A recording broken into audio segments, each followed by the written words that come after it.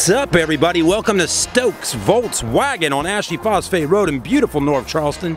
Today we're going to be taking a look at the, that's right, the Ford Escape 2013. This one's an SE, white with the blacked out wheels and the blacked out windows. Stay tuned over the next few minutes as we do a walk around video of this vehicle.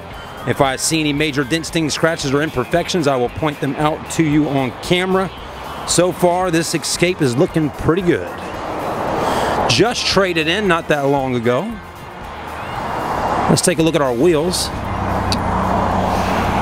Definitely alloy wheels. Good tires. Those are a 235 55 with a 17 inch wheel.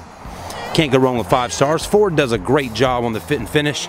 This one's loaded up, folks. You got the tinted windows, you got the pinstripe down the side, also this massive sunroof. roof racks.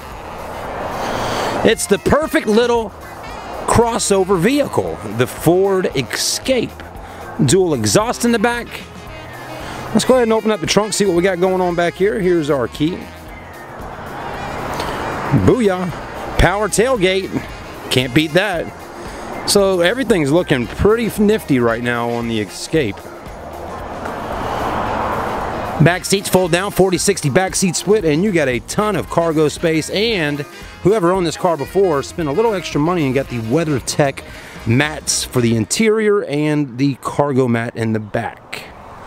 Not bad. I'm liking the power tailgate feature. Let's hit that button, drop that right on back down.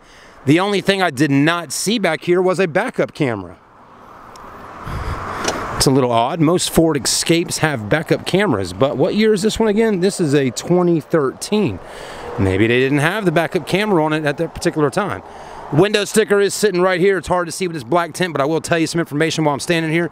82,651 on the mileage, 1.6 liter turbocharged engine. Okay, it's an SE model. Power windows, power door locks, power mirrors, lots of cool screens on the inside. Take a look at that. Massive screens, Microsoft Sync, and man, if it doesn't smell like cherry candy in here.